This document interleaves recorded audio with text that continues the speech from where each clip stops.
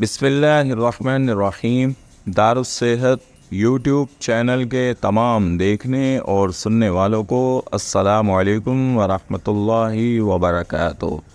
सामिन कराम, फ़ी ज़माना नफसा नफसी का दौर है। हर शख्स ही रुपये पैसे की भाग दौड़ में लगा हुआ है। रिश्ते नाते तकरीबन ख़त्म हो चुके हैं और फ़ोन सफ़ेद हो चुके हैं। भाई भाई की फ़िक्र नहीं करता और बहन को, बहन की कोई परवाह नहीं है। पड़ोसियों को दूसरों का हक खाने और रिश्तेदारों की कता ताल्लुकी का मामला बहुत आम हो चुके हैं। नफसा नफसी के इस दौर में रुपए पैसे की भाग दौड़ ने इंसान को बहुत ज़्यादा खुदगर्ज बना दिया है, जिसकी जेब में रुपए हैं, वो भी माशरे का मुआज़ समझा जाने लगा है। सामिन कराम, अगर कोई शख्स अल्लाह रब्बुल से बेपना रिस्क पाना चाहता है, रुपए पैसे चाहता है, दौलत की फरावानी चाहता है, और वो चाहता है कि अल्लाह रब्बुल उसे दुनिया में किसी का मोहताज ना करे, और सिर्फ़ अपने अपनी बारगाह में से रिस्क हलाल अता फरमाएँ और इतना रिस्क अता फ़रमा दें कि जिससे उसकी ज़िंदगी आसानी से गुज़र सके और उसके दिल की ख्वाहिशें भी पूरी होती रहें और ज़रूरियात ज़िंदगी भी इंतहाई आसान तरीक़े से पूरी हो जाया करे।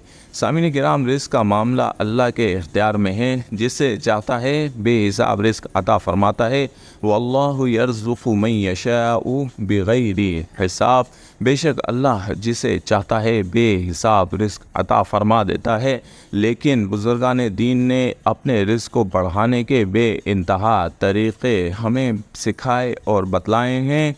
और रूहानी दुनिया में जब आप इन तरीक़ों को यकीन कामिल के साथ इन पर अमल करते हैं। किसी वजीफ़े को मखसूस वक्त में मखसूस तरीक़े से पढ़ते हैं तो अल्लाह रब्बुल आलमीन आपके रिस्क के बंद दरवाज़ों को खोल देता है और आपके रिस्क को बढ़ा देता है। सामिन कराम, अगर रिस्क के ख्वाहिशमंद, दौलत और सरवत के ख्वाहिशमंद ख़वान हजरात चाहते हैं कि अल्लाह उन्हें बे इंतहा रिस्क अता फ़रमाएँ और उन्हें कभी रुपये पैसे की कमी ना हो तो सूरतुल कौसर का एक इंतहाई बेहतरीन और मुजर्रब अमल लेकर आज हाजिर हुआ हूँ। तरीक़ेकार आप नोट फरमा लें, ये बेानतहा मुजर्रब अमल है, ताकतवर तरीन अमल है और इस अमल के ज़रिए से अल्लाह रब्बुल आलमीन ने कई लोगों पर अपना करम और फजल फरमाया है और उन्हें रुपए पैसे की आज कोई कमी नहीं है।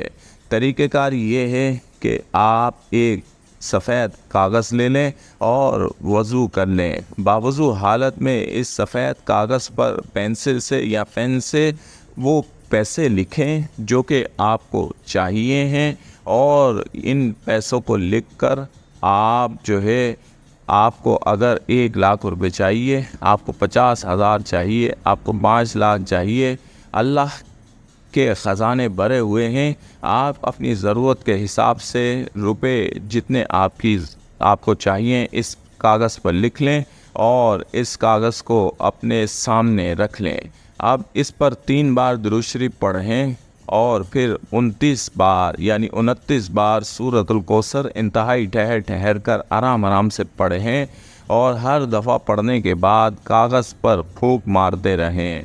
फिर तीन बार दुरुशरीफ पढ़कर अल्लाह रब्बुल से बेपना रिस्क और दौलत के लिए दुआ करें। खैर वाले रिस्क के हलाल के लिए दुआ मांगें, यकीन कामिल के साथ दुआ करें और उठ जाएँ। अगले दिन भी आपने ये कागज़ अपनी जेब से या जहाँ आपने एहतराम के साथ रखा हुआ था निकाल कर अपने सामने रखें। तीन बार बावजू हालत में द्रू पढ़ें, उनतीस बार सूरतुल कौसर आराम आराम से रुक रुक के ठहर ठहर कर पढ़ते रहें और कागज़ पर दम करते रहें और फिर तीन बार द्रू पढ़कर दुआ करके उठ जाएँ। इसी तरीके से सात दिन लगातार आपने यही अमल करना है और इस अमल को रोकना नहीं है, बाकी की हालत में ही पढ़ना है। हर मरतबा ये कागज़ पढ़ने के बाद एहतराम के साथ किसी ऐसी जगह रख दें जहाँ इसका एहतराम मलफूज ख़ातिर रहे। सामिनी ग्राम आम तौर पर तीसरे दिन ही अल्लाह का गैबी निज़ाम हरकत में आता है और आपको गैब के ख़जानों में से रिस्क हलाल और दौलत मिलना शुरू हो जाती है। सूरतुल कौसर ख़जानों वाली सूरत मुबारक सूरत है। ये खैर कसीर में इजाफ़ा करवाती है। ये आपकी दौलत को बढ़वाती है। आपकी खैर बरकत आप पर आसमान से नाजिल करवाती है।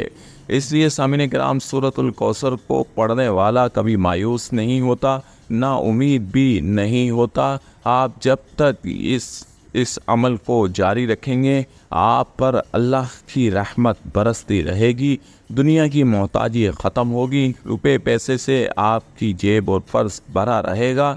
आप चाहें तो सात दिन बाद भी इस अमल को जारी व सारी रखें, बल्कि इस अमल को अपनी ज़िंदगी का अगर हिस्सा बना लें तो उनतीस मरतबा रोज़ाना सूरतुल कौसर आपके खुशहाली के लिए काफ़ी हो जाएगी। अल्लाह की रहमत, बरकत, इनायतें, फ़जल करम रिज़ हलाल आपको मिलता रहेगा इन